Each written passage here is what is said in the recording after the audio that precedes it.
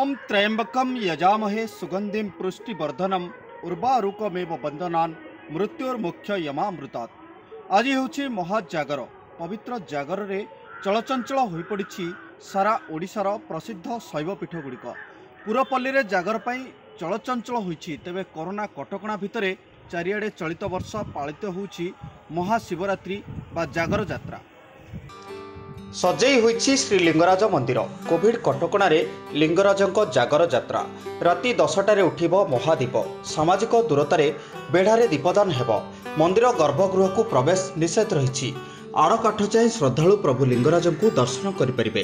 ଭୁବନେଶ୍ୱର ସ୍ଥିତ ଶ୍ରୀ ଲିଙ୍ଗରାଜ ପୁରୀ ସ୍ଥିତ ଲୋକନାଥ କୋରାପୁଟ ଜିଲ୍ଲାର ବୈପାରୀଗୁଡ଼ାର ଗୁପ୍ତେଶ୍ୱର ଢେଙ୍କାନାଳର କପିଳାସ ସ୍ଥିତ ଶ୍ରୀ ଶ୍ରୀ ଚନ୍ଦ୍ରଶେଖର ଭଦ୍ରକ ଜିଲ୍ଲା ଆରଡ଼ିର ବାବା ଆଖଣ୍ଡଳମଣି ସମ୍ବଲପୁର ଜିଲ୍ଲା ହୁମାସ୍ଥିତ ବିମଳେଶ୍ୱର ମନ୍ଦିରରେ ଶିବରାତ୍ରି ପାଇଁ ପ୍ରବଳ ଭକ୍ତ ସମାଗମ ହୋଇଛି। ଏତଦ୍ବ୍ୟତୀତ ରାଜ୍ୟର ଅନ୍ୟ ସମସ୍ତ ଶିବ ମନ୍ଦିରଗୁଡ଼ିକରେ ମଧ୍ୟ ଶିବରାତ୍ରି ପାଇଁ ସ୍ୱତନ୍ତ୍ର ପୂଜାର୍ଚ୍ଚନା ଓ କାର୍ଯ୍ୟକ୍ରମର ଆୟୋଜନ ହୋଇଛି। ଏହିସବୁ ସ୍ଥାନରେ କୋଭିଡ୍ ନିୟମ ମାନି ଭକ୍ତମାନେ ପୂଜାର୍ଚ୍ଚନା କରୁଛନ୍ତି। ହେଲେ କଟକ ଜିଲ୍ଲାର ବାବା ଧବଳେଶ୍ୱର ପୀଠରେ ଶହେ ଚଉରାଳିଶ ଧାରା ଜାରି ରହିଥିବାର ସେଠାରେ ପରିବେଶ ଖାଁ ଖାଁ ରହିଛି।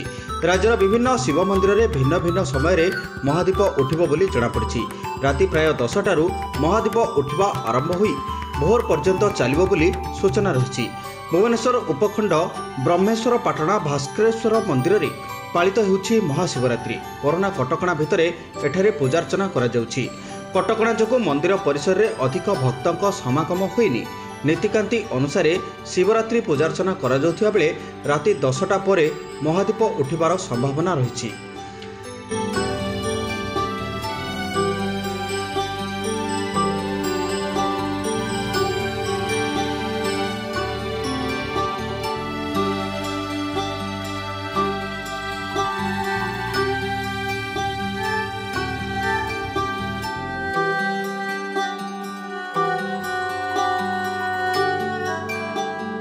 ମହାମାରୀ କରୋନା ମଧ୍ୟ ଶ୍ରଦ୍ଧାଳୁଙ୍କ ଶ୍ରଦ୍ଧାକୁ କମ୍ କରିପାରିନାହିଁ। ଏହାର ଜ୍ୱଳନ୍ତ ଉଦାହରଣ ଦେଖାଦେଇଛି ଢେଙ୍କାନାଳ ଜିଲ୍ଲା କାମାକ୍ଷାନଗର ବ୍ଲକ ରାମେଶ୍ୱର ମନ୍ଦିରଠାରେ। ରାମାଳୟ ନଦୀ କୂଳରେ ଅବସ୍ଥିତ ମନ୍ଦିରର ବହୁ ମାନ୍ୟତା ରହିଛି। ସରକାରଙ୍କ କରୋନା ନିୟମକୁ ମାନି ମନ୍ଦିରର କମିଟି ମେମ୍ବରଙ୍କ ସହାୟତାରେ ଭକ୍ତମାନେ ଶାନ୍ତି ଶୃଙ୍ଖଳାରେ ଧାଡ଼ିରେ ରହି ଦର୍ଶନ କରିଥିଲେ।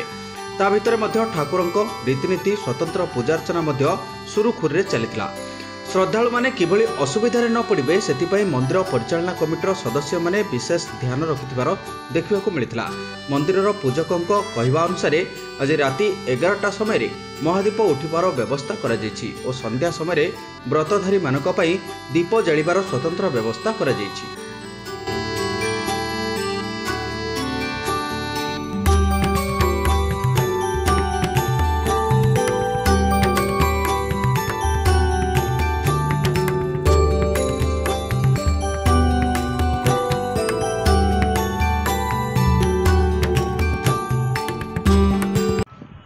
ଲଗାତାର ଦୁଇ ବର୍ଷ ଧରି କରୋନା ବାଧକ ସାଜିଛି ମହାଶିବରାତ୍ରି ପାଇଁ। ମହାଶିବରାତ୍ରି ଯେଉଁ ଯାତ୍ରା ରହୁଛି ଉତ୍ସବ ରହୁଛି ମହା ଆଡ଼ମ୍ବର କଥା କୁହାଯାଉଛି ଏଥିପାଇଁ କରୋନା ବାଧକ ସାଜୁଛି ଏବଂ ଚଳିତ ବର୍ଷ ମଧ୍ୟ କରୋନା କଟକଣା ରହିଥିବା ଯୋଗୁଁ ମହାଶିବରାତ୍ରିରେ ଜନସମାଗମ ହେଉନାହିଁ।